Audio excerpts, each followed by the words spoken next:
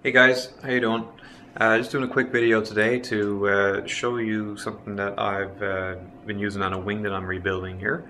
And it's uh, just basically, I guess, a way to join the spar back together.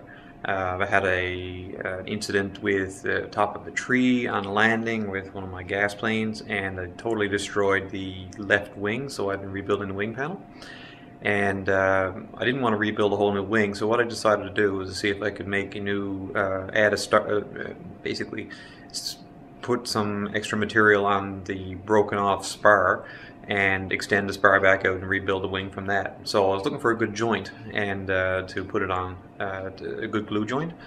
And uh, what I've uh, used is called a, I believe it's called a scarf joint in woodworking. And basically you cut the ends of the, uh, the wood at an angle, a long angle, and it's basically just put together with some wood glue. So I'm just going to um, show you what I've got done there and, uh, and show you how I'm uh, planning to uh, reinforce it. So this is the left wing panel underside that I've been rebuilding and I've got two new pieces of 3 8 square um, wood there for the spar.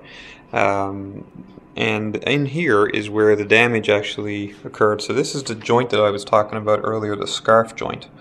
And uh, basically taken the wood and cut it on an angle so to increase the amount of uh, surface area that the glue sees. And uh, actually just used uh, carpentry glue, LePage's uh, wood glue, to uh, put it together and then clamped it and left it overnight. And the way I kind of did this is I had to line everything up. So I put the first one in, put the first spar in on the bottom, and then I kind of went and rebuilt all these ribs from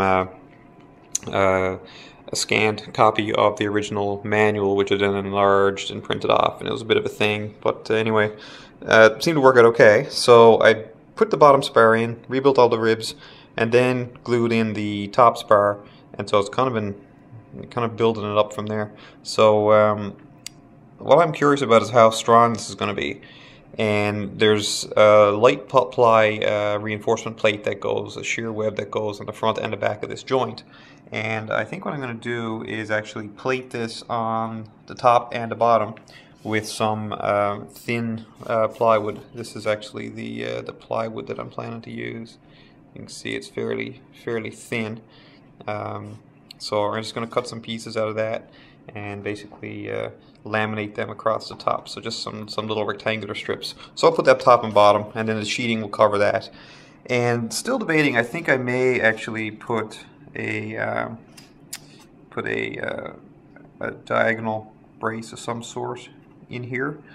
And then the whole thing will be all clamped together in epoxied or carpenter glue or something to put it together. So uh, that's that front, uh, that's the main spar, and then in the back there was a joint as well. So this was actually broken on the inside here. That's the original, and then there's a joint right there. And there's a short piece. Just kind of getting out of focus there. Um, and then it's joined in here. So same type of a scarf joint. This uh, angle cut that's here just gives a bit more gluing uh, gluing area and uh, I've got to plate this as well with a shear web on the back so hopefully when it's all put back together that will have enough strength to uh, to keep the wing from uh, from tearing off. And uh, I guess um, I'll do what I can to beef it up. And the first couple of snap rolls will tell the tale. Well that's a look at that uh, glue joint that um, got put into the spar.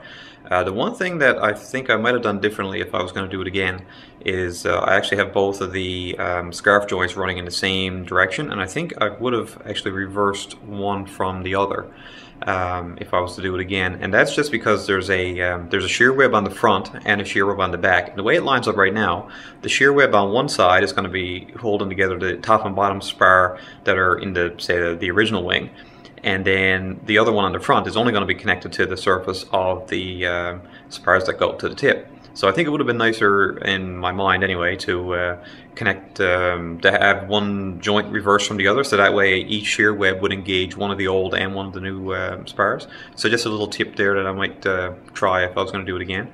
And uh, partly the reason why I'm going to put those little uh, plates on the top and the bottom of the, uh, the joint, so essentially on the sides of the joint to help reinforce that some more.